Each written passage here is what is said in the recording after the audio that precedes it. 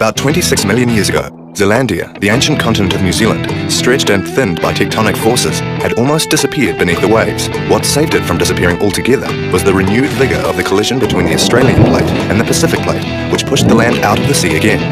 As the Pacific plate was forced under the north of New Zealand, a belt of volcanoes erupted in what is now Northland, moving southwards over millions of years towards the Coromandel.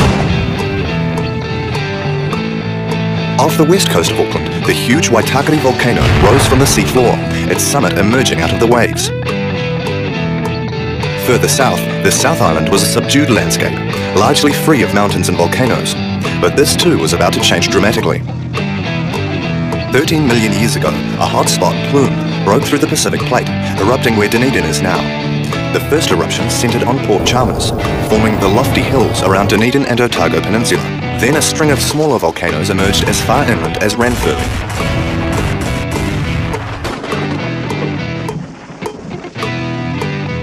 Ten million years ago, it was Christchurch's turn. A hotspot created three massive overlapping shield volcanoes, Banks Peninsula. Four million years later, the action had shifted further east, as yet another hotspot brought the Chatham Islands up out of the sea in a series of blasts over four million years. Meanwhile, in the North Island, volcanic activity had been moving south and east as the Pacific Plate began to dip down more steeply under the Australian.